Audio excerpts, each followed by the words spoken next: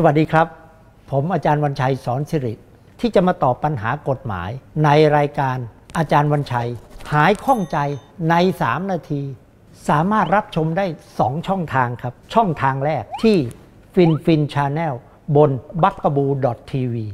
และ 2. พอดแคสต์ Fin Fin Channel และวันนี้ผมจะมาตอบปัญหาเรื่องอะไร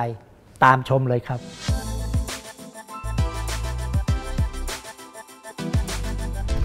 หนี้บ้าน ถามว่าคนมีบ้านแล้วมีใครอยากมีหนี้บ้าง ก็บ้านคือวิมานของเรา เราก็อยากอยู่แบบสุขสบาย ร่มเย็นเป็นสุข แต่เราไม่ได้มีเงินสดซื้อนี่ เราก็ต้องกู้แบงค์ผ่อน 20 ปี 35 ปี เงินเดือนเงินดาวมันก็พอมีมันก็ผ่อนกันได้ แต่ชีวิตทุกคนมันไม่แน่ โควิดมาเห็นไหมเนี่ย ไปเลยครับระเนระนาดแต่หนี้บ้านก็ยังค้างคาอยู่ มันค้างเข้ามาหนึ่งงวดสองงวดสามงวดห้างวดเจ็ดงวดโอ้โห กลุ้มใจนะครับ เห็นบ้านแล้วมันไม่ค่อยจะมีความสุข เพราะเจ้าหนี้ก็เริ่มทวง เอาละครับ มีหลายคนวิตกกังวลแล้วก็สงสัยกันมาตลอด ผ่อนก็ไม่ไหว อะไรจะเกิดขึ้นกับชีวิต ผมขอแค่ 3 นาที แล้วคุณจะหายข้องใจครับ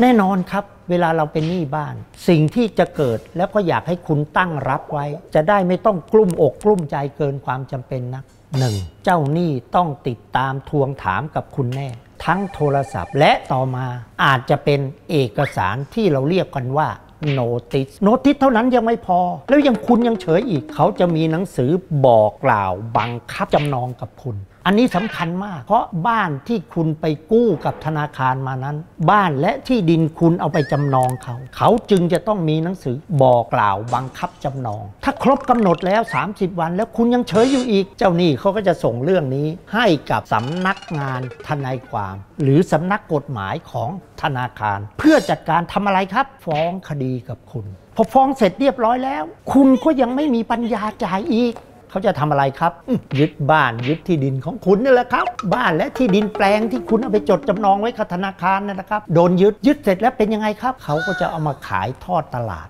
ถ้าเกิดหนี้คุณมีอยู่ล้านหนึ่งขายได้ล้านสองอันนี้ถือว่าคุณโชคดี ยังมีเงินเหลืออยู่2 0 0แสนถ้าเกิดขายทอดตลาด ดันขายได้8 0 0แสนบาท เป็นยังไงครับ ก็ยังค้างหนี้อยู่ 2 0 0แสนเจ้าหนี้เขาก็ต้องไล่บี้ในส่วนที่ขาดอีกต่อไป ถ้ามีเงินเดือนเงินดาวที่ไหนเขาก็อาจจะตามยึดตามอายัดถ้ามีบ้านมีที่ดินแปลงอื่น หรือมีทรัพย์สินมีรถลา เขาก็จะยึดมาชำระหนี้ในส่วนที่ขาด อันนี้เป็นขั้นตอนตามกฎหมาย แต่เขาจะจับคุณไปติดคุกได้ไหมไม่ได้ตำรวจมาไล่บี้ได้ไหมไม่ได้ครับ นี่นี้เป็นคดีแพ่งไม่ใช่คดีอาญาดังนั้นนะครับ วิธีปฏิบัติที่ผมอยากจะแนะนำคุณนะครับ มันไม่ตาย มันไม่ติดคุก พอเราค้างหนี้ แล้วก็ดูทีท่าว่ามันจะไม่ไหว ไปเจรจากับเจ้าหนี้ธนาคารเลยครับ ขอปรับโครงสร้างหนี้ ที่ผ่อนอยู่เดือนละหมื่นห้าไม่ไหวครับ ขอเจ็ดพันได้ไหม เขาดูแล้ว เขาอาจจะขยายทั้งเวลา ขยายทั้งจำนวนเงินที่ผ่อน อย่างนี้ก็พอหายใจคล่องหน่อย แต่ถ้าปรับโครงสร้างหนี้ดูแล้วก็จะไม่ไหวทำยังไงครับอย่าเฉยรีบหาคนอื่น มาดูมาซื้อขายซะให้ได้เลยครับ อย่างน้อยที่สุดคุณได้เงินที่คุณผ่อนไปแล้วคืนมาบ้าง ก็ถือว่าเป็นโชคดีของคุณนะครับ แต่ถ้า